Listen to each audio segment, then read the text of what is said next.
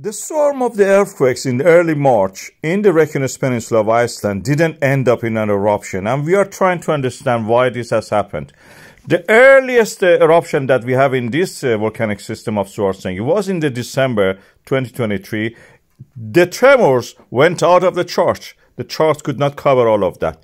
Then came the January 2024, and the eruption was quite powerful. This one actually burnt some of the houses uh, in the north of the Grindavik. And then the one in the February was short, powerful, but again, something significant. And the one that we had in early March, and I will show you now, was quite tiny. It was almost like a needle poking through the uh, ground, bedrock. I couldn't make it through. When we compare the uh, number of the earthquakes as a swarm on the chart, the December ones was quite big. Then we come to the uh, January one, largest probably one of those things that we have seen. You can see that number of the cluster of the earthquakes is huge. Then the February one was a small but intense.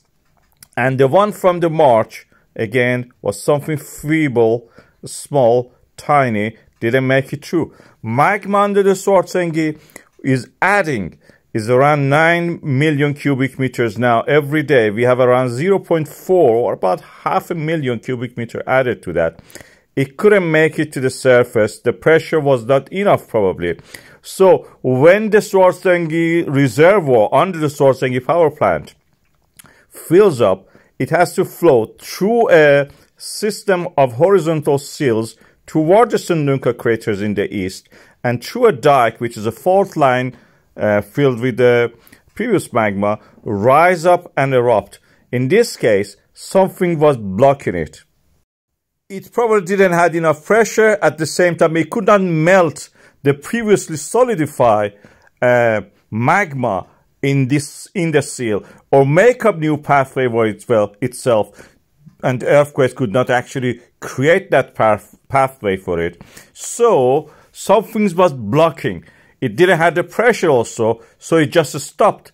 It just solidified, it stopped in that place, couldn't go any further, and was trapped practically in that sense.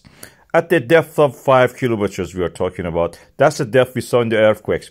We expected that we have an eruption by the date of 20, 20th after the magma accumulation from the February eruption. But what we had yesterday was just some of the magma from the Svartsengi was lost so we had the reduction into the dike and, and the sill. It couldn't make it up. We expect that if it follows the pattern of the first uh, earthquake pattern that we had in the Grindavik, it may do it in the day 29th after the start of the mag uh, magma accumulation under the Svartsengi, which makes the date of the 5th of March. From that time onward, they may we may have an eruption. So until then, you can go and sleep practically what I'm trying to say to you. 5th of March and onward, it may erupt again. Until then, we have to wait and see. It could be very quick.